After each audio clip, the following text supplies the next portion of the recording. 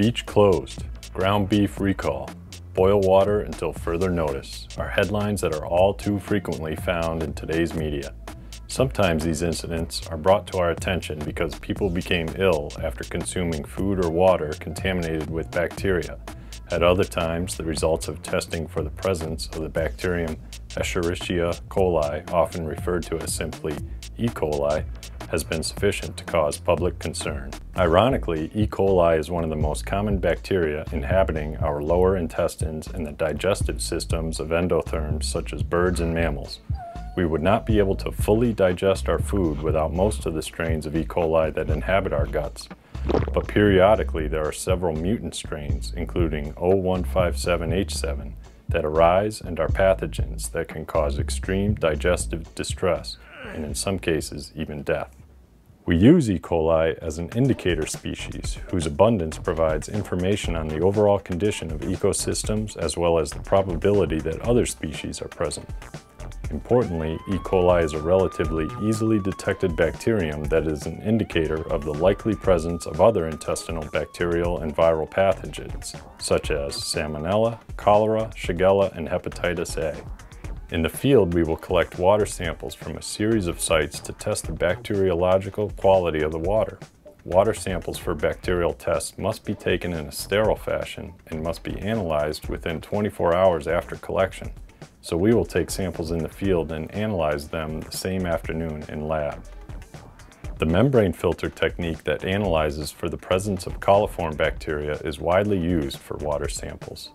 Coliform bacteria as a group include both fecal coliforms associated with bird and mammal digestive systems and total coliforms that include the rod-shaped bacteria that inhabit soils and environments not associated with animal digestive tracts. After an incubation period during which bacterial cells grow and multiply in a nutrient medium, the resulting colonies appear blue or red with a metallic sheen for the total coliform bacteria and dark blue for the fecal coliform bacteria.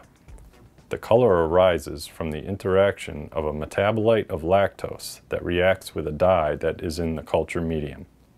Here is some helpful advice as you prepare your samples and plates for the coliform analysis. We are now going to prepare the plates for total and fecal coliform. Obtain a Petri plate, the blue nutrient broth for total coliform, and the purple broth for fecal coliform. Label a plate with your sample name, your initials, TOT for total, and FC for fecal coliform. Open the sterile packet containing a filter membrane and a nutrient pad. Using sterile forceps, carefully place the sterile filter membrane, and not the pad, into the filtering apparatus.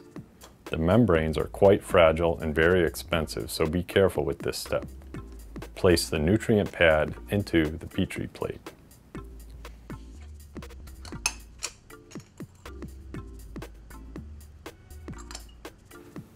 Open the plastic vial of blue nutrient broth and pour it onto the pad in the total coliform Petri plate.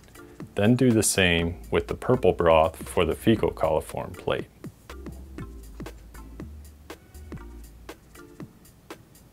Measure 10 mils or perhaps more if you have a particularly clean sample, or less if you expect very many bacteria. Consult your instructor and don't forget to write down how much you use.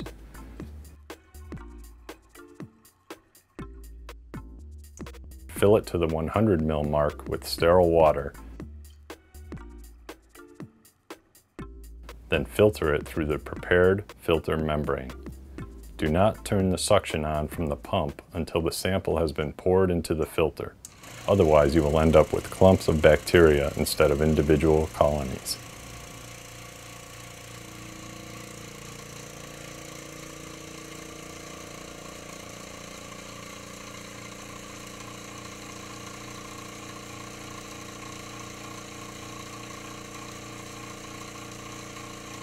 Turn the vacuum pump off and remove the membrane filter carefully from the apparatus and place it immediately on the nutrient pad in the Petri plate.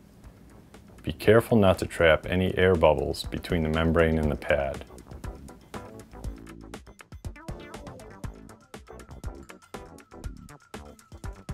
Wrap a piece of masking tape around the plate to keep it from drying out.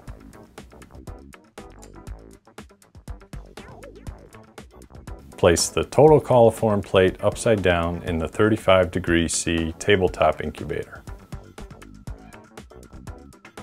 Place the fecal coliform plate upside down in the 44.5 degree water bath.